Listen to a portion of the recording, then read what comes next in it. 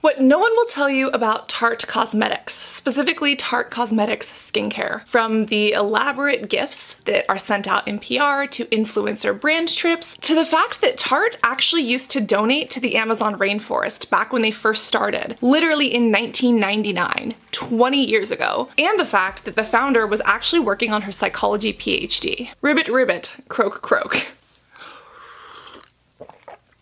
I've been in the industry for 10 years and I've seen a lot in professional offices and in the influencer world. But at the end of the day, I started off as a consumer first. I believe that people should have access to brands that match their morals and values and also benefit their skin. And that's why I dig into these products and try to figure out what's in them from both an ingredient perspective and from a brand perspective to help you make empowered and inspired choices. Tarte skincare is actually a very interesting story, but it really starts with their makeup line, which is how I first heard heard about them. In 1999, Kelly was a girl who was working on her PhD in psychology in New York at Columbia University. And while she was there, she found that she didn't have access to makeup that made her look glamorous, but that had more natural ingredients. And this just kind of blows my mind because I never really thought of Tarte being this old, but like that's where they go back to. It started out with her, I think, mixing products in her apartment, and it started with a cheek stain. Kind of reminds me of Benefit in that sense, only Benefit did a nipple stain. So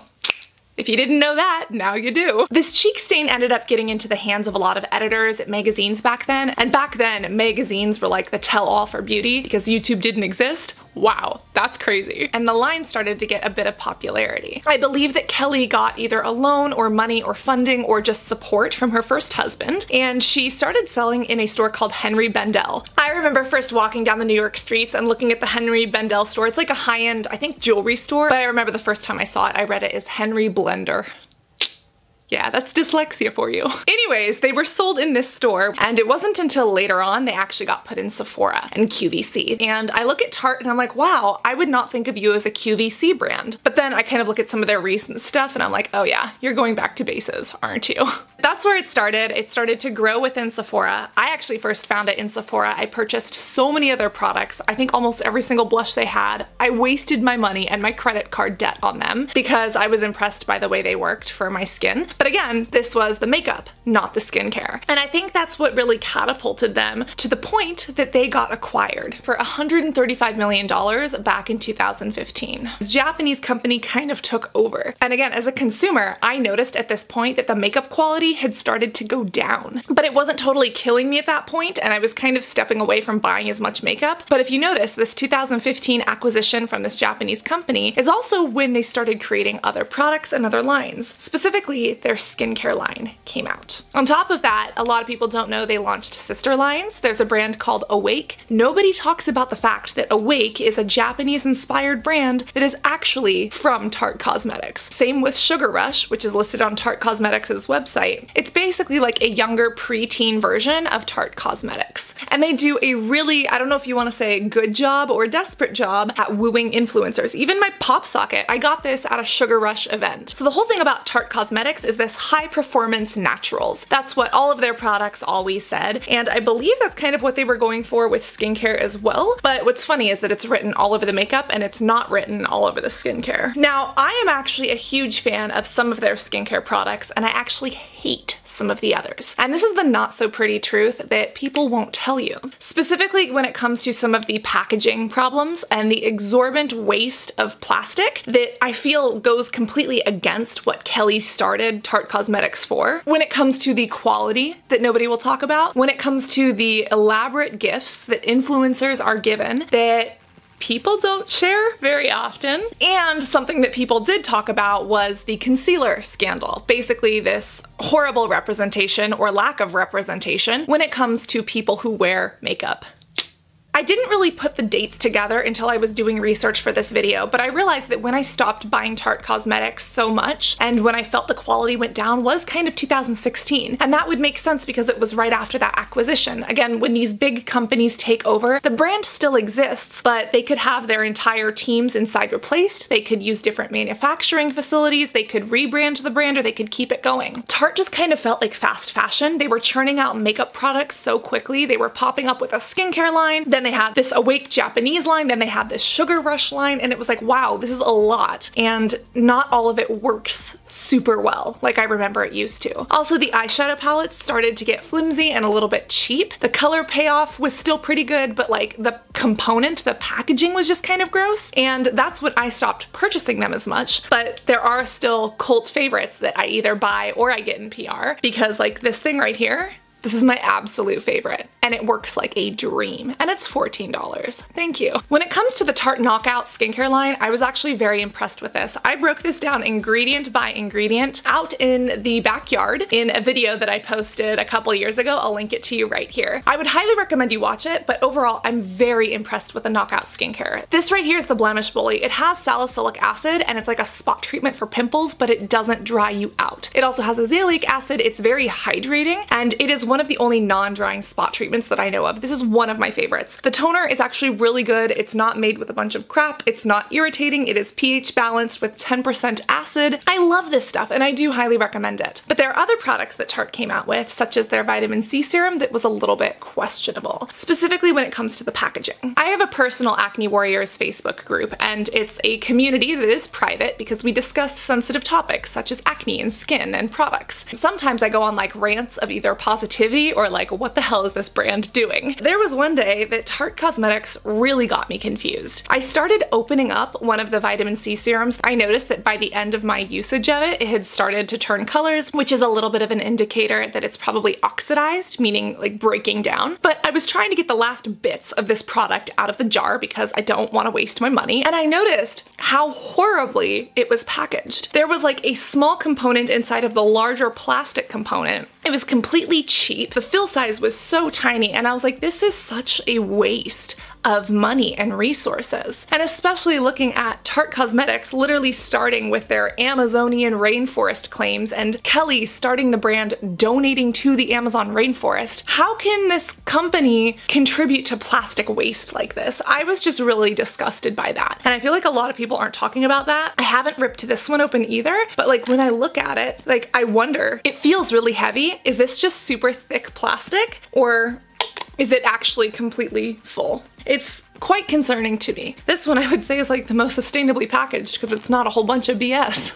On top of that, there are some of their products that I don't like. They have this vitamin C under eye cream. I think it's horrible. It's disgusting. They have some facial oils that are pretty good. They have one that is infused with gold flecks. Really doesn't do anything to your skin. It's just bougie, but it does feel kind of fun to like rub in the little gold specks into your skin and then look at them under a microscope because we did that. This is a product that I was also kind of iffy about. It's the Tight and Bright Clay Mask. I liked the clay part, the pink part. Oh, it's starting to go bad. I liked this side, but then this side that's like trying to be gold glitter just didn't do anything for my skin. And that's why, again, ever since this acquisition, I feel like some of their products are really, really good, but others are just kind of gimmicky. And I never thought of Tarte as like a hit and miss brand, but with their skincare, it is kind of hit and miss, to be totally honest. There is of course the huge concealer issue, which was heavily covered. And again, this isn't totally about makeup, but I do want to touch on this because it dives into a deeper issue. Who made this mistake? Knowing that Tarte is owned by this Japanese conglomerate, is this like the high levels that made this mistake? Was it the marketing department that made this mistake? Was it the research and development? Who was it? And that's what I want to know because it was a horrible representation. Wasn't even a representation of color. They basically launched a bunch of their best-selling Tarte cosmetics Cosmetics Shape Tape concealers and only catered to like three skin tones.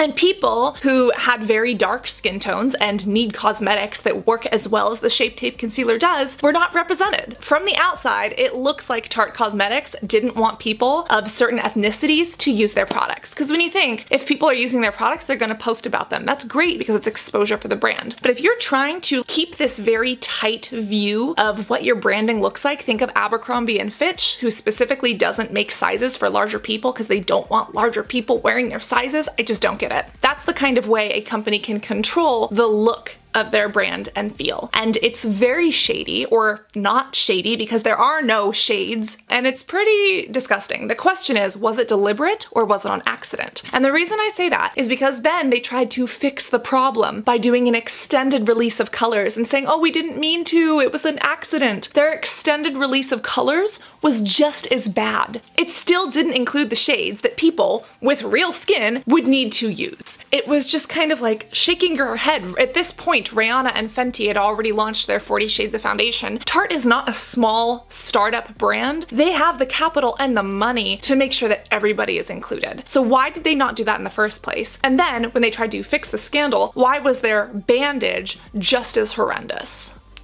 I am very confused. I get that that's makeup, not skincare, but the reason it ties in is because these things are all combined. This is the same company. What is the thought process or what is going on behind the scenes that is allowing this to happen? That's what's going through my head. The other thing that isn't publicized unless it's turned into drama are the influencer trips. Now let me tell you, Tarte Cosmetics PR is bomb. They have some of the best PR packages out there. They have memes on the inside of the box, so like it makes you laugh. They're very very shareable, they're very elaborate. Again, there's a lot of plastic waste and a lot of packaging, which isn't cool. I haven't gotten a lot of their PR recently for that specific reason, but the PR packaging is impressive to say the least. On a personal note, the most expensive thing they ever sent me was a pair of $170 shoes. Their knockout line was like knockout breakouts and they sent boxing gloves. They actually had an event, but Los Angeles was on fire at the time rightfully, they didn't want people breathing in all of that smoke, so they canceled the event and just sent everybody the goodies, which I was very grateful to receive. I feel very happy that I was able to grow as a person. I'm a little bit older, I'm 27, but I was able to grow as a person before the influencer world completely ate me up, chewed me up, and spat me out. I feel very blessed that I'm able to separate work or product from a person, because again, a person has worth intrinsically. Even if you do something wrong when it comes to a project or make a mistake or a bad product, I'm really happy that I've learned to distinguish those two and not tie them together. At the same time, I've kind of done that with beauty brands. I feel a little bit proud of myself, a little bit strong that I can distinguish a bad product from a good PR kit. And I don't let gifts or monetary value or even sponsorships get in the way of my honest opinions. That's something that I don't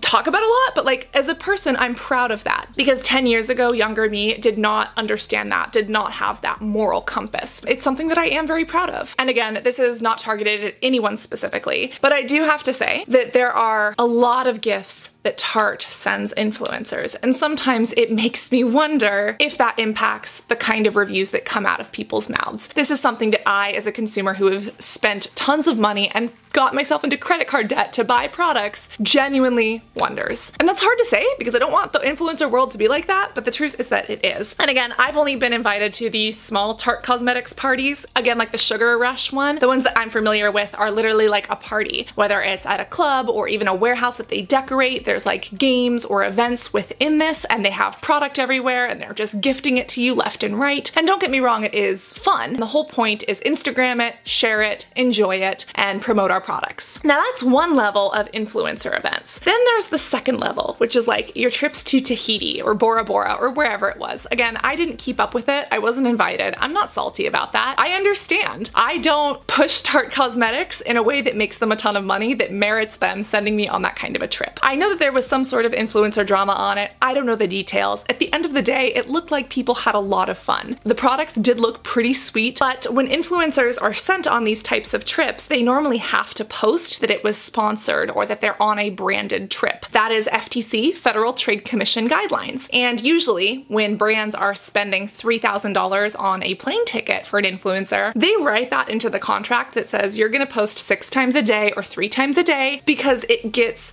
viewership for Tarte Cosmetics. Six times a day, you're going to tag the brand's handle in the post because you see it gets them exposure. And that's what they want. It doesn't matter if someone's using their makeup or just posing naked on the beach. If it's tagged Tarte Cosmetics, it still gets them brand recognition. And like that's just how branding works. That's why when I say car insurance, you think of Geico. When I say phones, you think of AT&T and Verizon because their branding is so omnipresent, it's so multi-channel that they've established themselves in that way. When you think of Band-Aid or Post-its, those are actual brands, but we think of them synonymously with the product. Kleenex is a tissue. And that, in a way, is what Tarte Cosmetics and these companies with this kind of money are trying to do. I don't think there's anything wrong with that. What I do find an issue with is when influencers don't always disclose that, because think of a 13 year old girl interested in Sugar Rush, and she doesn't know that her favorite influencer was paid to talk about that or was brought on a brand trip. She thinks that this influencer got the trip with her hard earned money, and she was like, wow, I need to have a body like that and go to beaches like that in order to be pretty or successful. And it's just that transparency in advertising that kind of walks a funny line. I don't know if you technically have to disclose a gift that you got from a different brand. For instance, if Tarte sends a Givenchy or Dolce & Gabbana purse, the influencer might not have to disclose that because it's considered a gift and it's not to promote this brand. But you can also see where getting $10,000 worth of shoes and handbags might influence how somebody speaks about a product. Again, we hope not, but also we have to just recognize human nature exists. I'm not here to expose anybody, but there are other influencers that I know who have received very similar gifts, who wear them around, show them off as if they bought them with their own money, but they were gifts. Yeah, it's a thing. I think that because Tarte Cosmetics has so much corporate capital, they can do this. And again, I don't think that's a bad thing. That is business, that is how it works. Back in the day, magazine editors used to get taken out to parties and given expensive gifts and shoes and jewelry to promote products. Like that is how the beauty industry world kind of started with magazines. So it's not a bad thing. What's bad is people taking that, running with it, not disclosing exposing it properly and letting that impact the way they feel about a brand or a product. Which to be totally honest, I don't know whether or not that's happening right here. But some of the products are great, some of the products are hit and miss. The other thing we have to talk about is pricing. Again, not for the makeup, but for the skincare, I would say they're reasonably priced. Some products I think could be a little bit overdone, but like these Blemish Bully concealers are $14. They last me pretty long. 20 to 30, maybe $40 for some of your skincare products. Like those are Sephora prices. That's not absolutely terrible to me. Do all of the products and all of the formulas formulas merit that $40 price tag? No. But again, it's kind of hit and miss between those different products. The other thing you have to keep in mind is that Tarte has a ton of sales. Yes, they are sold at Sephora and at Ulta. Go buy them from TarteCosmetics.com because they have a sale literally every freaking day. Sometimes they have 30% off. I've seen it up to 50% off. I've seen 70% off of certain products. Don't pay full price for these, okay? You can get them for cheaper unless you're in a country where they don't ship to and you have to go to a third party seller like Ulta or Amazon, do it. But like, look for those discount codes and honestly, wait for the discount codes because they are always on sale. Who is Tarte Cosmetics for? This is also kind of confusing. When they first started, again, back in 1999, it kind of sounds like they were for the conscious mother. The lady who wanted to feel glam, they had that Park Avenue Princess bronzer. They wanted to feel beautiful, but also do something good for the planet, which is why they donated to the Amazon. Then, back when I was first introduced to the line because I bought all of it at Sephora, it kind of felt like the college girl. Again, a lot of their products were natural, all cruelty free. Most of them were vegan. They were a little bit expensive, but it was like, you know, college girls would have in their little makeup cases and put in the gym locker. Now, it kind of seems like it's been getting younger and younger. I know that Sugar Rush is technically their preteen line, but the quality that Tarte has been putting out and the marketing that they've been putting out, it just feels like now it's like VSCO Girl Teenager, which again isn't a bad thing, but to me it's kind of confusing because it's like, wait, we're all growing up, but the line is growing down? Like, does anybody else feel like their demographic has gotten younger? And again, my theory for the reason that this is happening is because the younger generation, Generation Z, has gotten a lot of media and a lot of press for being hyper consumers. Generation Z has been known to purchase products, and if you look at marketing blogs, and if you have a VPN, a virtual private network, and you set that to a country like Japan, you can kind of see how articles are different in different places in the world. It's really interesting how governments, how cultures, and communities filter what they say based on different countries. But let me tell you, in Japan, the young consumer is what everyone in marketing is kind of going after. And I wonder if this is just a coincidence that I am drawing or if this is actually something that has merit to it. But I feel like Tarte Cosmetics has been targeting younger and younger in their demographics. I also feel like they're not innovating, they're not changing, they're not doing anything revolutionary. Like, okay? But what they are doing is launching these sister brands, just trying to pick up more market share, which is smart, it's intelligent, but please just be more friendly with your packaging. When it comes to the skincare and the key products I talked about, I love these. The vitamin C line was disappointing from a packaging perspective, and because like it oxidized, the under eye creams are horrible. I do not recommend them. A lot of the skincare products are hit and miss. The one thing is that Tarte does have the Drink of H2O moisturizer. It's actually a really good moisturizer and it's a dupe for the Clinique Moisture Surge and for the Neutrogena Hydro Boost. Basically, a lot of people who are on Accutane for acne have horrible, horrible skin dryness and Clinique Moisture Surge is usually recommended because of its lightweight texture and its supreme hydration. However, the ingredients aren't all that great. Clinique is kind of an outdated brand from a branding perspective. And on top of that, they're not cruelty free. They test on animals. So Tarte Cosmetics is an amazing dupe for that product that I would highly recommend. And I do recommend where people are looking for advice and saying, I am on Accutane, I need a good option that is also cruelty free. What I do like about Tarte Cosmetics that I have participated in is their Kiss and Makeup campaign. It's basically donations to end cyberbullying and online bullying. And most of my personal history with bullying had to go around my skin and it was in person, but the online world can be ruthless. And if you don't have thick skin, it's really hard to deal with. And even if you do have thick skin, it's really hard to deal with. And as we know, online bullying is a huge issue from self-esteem to feelings of safety and security to people taking their own lives, which I'm very happy that Tarte has used their platform, their reach, and their influence to raise awareness about. So that campaign is something I'm happy to participate in and I'm really happy they do. I think they do it just about every year. I hope that does not change anytime in the future and I hope that some of their sister brands such as Sugar Rush start to do things like that as well. The question is, can you go back to your roots of like this Amazonian clay that you claim to put in your makeup and can you actually start protecting the Amazon? Because if we all remember back to August of last year, it was on fire.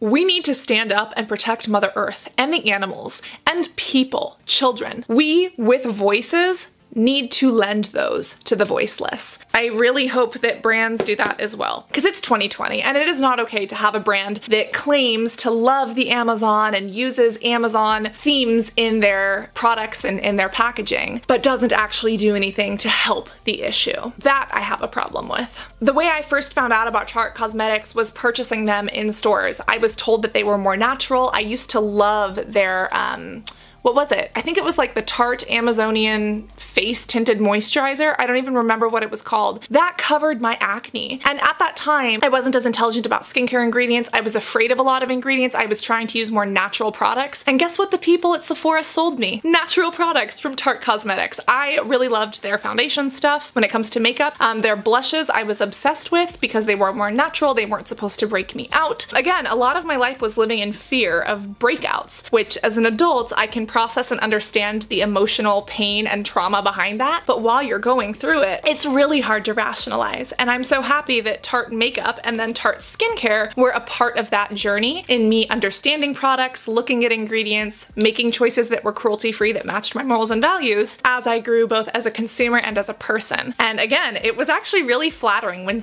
Tarte started reaching out to me and started sending me PR because again, there's three levels of PR. There are those boxes with the memes on the inside and they're full of goodies that, by the way, I give to you guys on Fridays at 5 p.m. on Facebook. If you didn't know that, we do giveaways almost every single week. But that's like level one. Level two are these influencer parties that you're invited down to, usually to LA too. And you know, it's kind of like a big Instagram and product gifting fest. And then there's like level three, where you're invited to these exclusive resort vacations and given designer handbags and shoes, etc. Again, some of those designer handbags are leather. And Tarte is a proudly cruelty-free brand with a lot of vegan products. Can y'all not focus on giving away some cruelty-free stuff? Like, why are you going to make products that are cruelty-free and most of them are vegan? And then you're going to go spend corporate marketing money on leather for influencers. That again is just me being hypersensitive, but again, those of us with voices need to stand up for the voiceless, and that includes humans, children, animals, and the planet. And that's what I have to say about that.